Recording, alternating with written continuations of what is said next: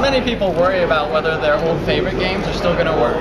So, you know, there's been hundreds of hit games developed for Windows XP and Windows Vista, and these hundreds of hit games have been tested. 98% of them are compatible with Windows 7, take advantage of the optimizations and improvements that Windows 7 has provided. So basically, there is no problem when it comes to gaming on Windows 7. You guys can still play Sims 3, Civilization, Age of Empires, whichever else.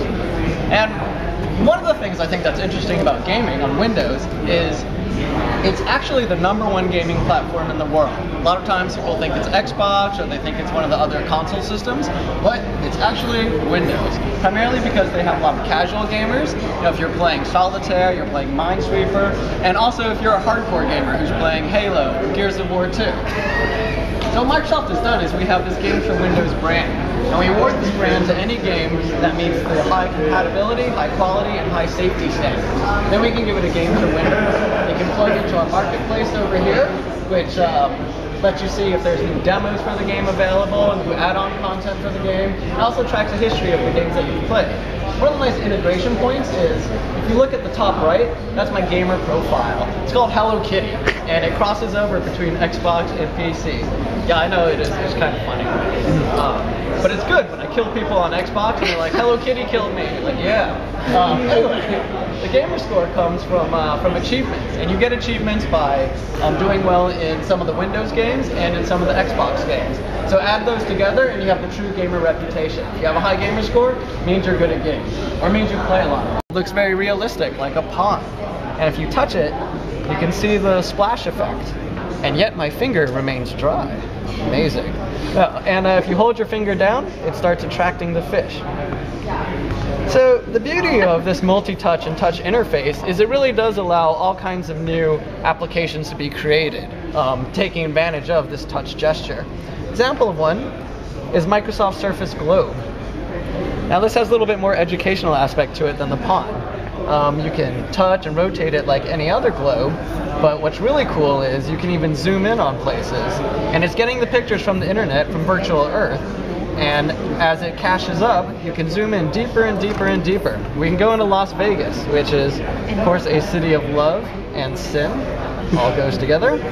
And we can see all these 3D models and buildings. These are taken from photographs from a satellite.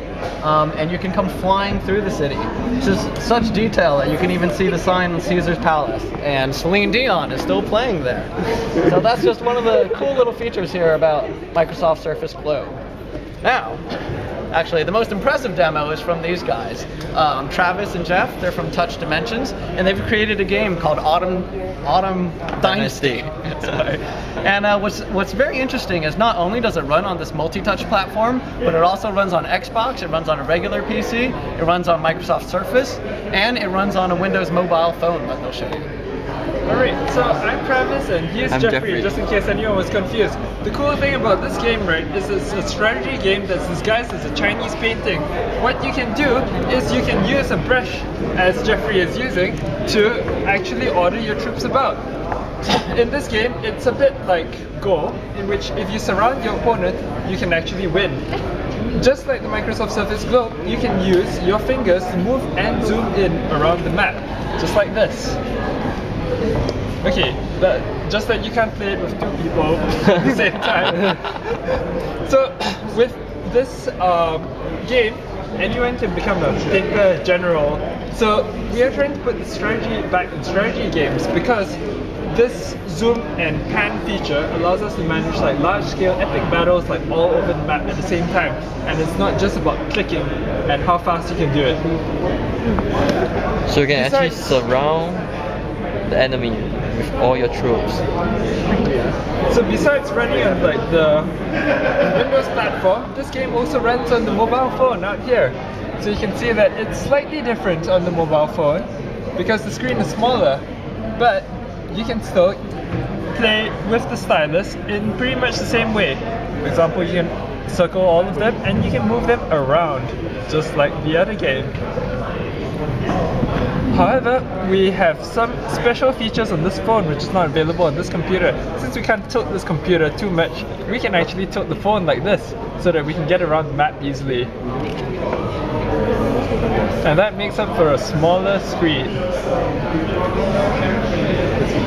So we've got this brush down here, and we were wondering if like anyone would like to be a general for a few moments. Go, Yup. Kathy. So we can- Kathy. Go, You see, Kathy. there's this cool battle now. Maybe you try to help the blue You're color supposed to them and then bring them to where you want. You control the blue color. You're the blue. And I want to be red. no, for this is you can control the blue. Oh, okay. So we have to kill all these. Yup. So as you can see, there are